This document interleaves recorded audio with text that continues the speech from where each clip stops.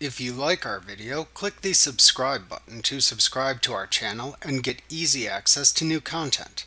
To see our full suite of ad-free video courses and training materials, visit us at teachucomp.com. If you work with an accountant who uses the QuickBooks for Accountants edition, you can use the file transferability in QuickBooks Desktop Pro to send an accountant's copy to your accountant. To use this feature, you must be using QuickBooks Desktop Pro 2013 or better, have an internet connection and an email address, and you must know your accountant's email address. This feature allows you to save the accountant's copy to an Intuit web server, which notifies your accountant via email to download the copy. To perform this task, select File, Send Company File, Accountant's Copy, Send to Accountant from the menu bar. In the Send Accountant's Copy window that appears, click the Next button to continue. In the next screen, use the Dividing Date drop-down to select a dividing date for your accountant's copy file.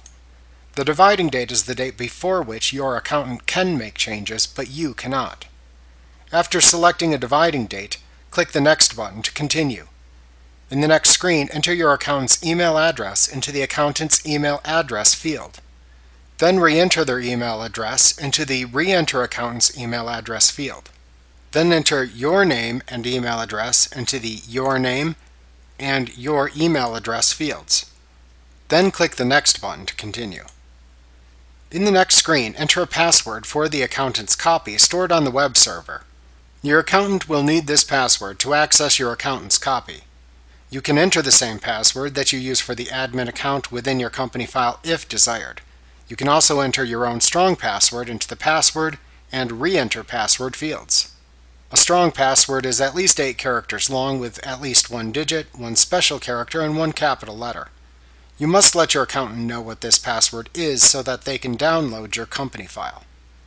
Then click the Send button to create and upload your accountant's copy and be sure to let your accountant know what the password is. Your accountant will receive an email with a link they can click to download and open your accountant's copy. They will need to enter the password you created to do this. Also, your original company file will display text that says Accountant's Changes Pending within its title bar. After creating the accountant's copy, you can still perform normal data entry in the original company file, but you cannot make some kinds of changes to the company file, such as deleting, renaming, or structurally rearranging the existing accounts in the chart of accounts. Remember to click the subscribe button to see more of our videos.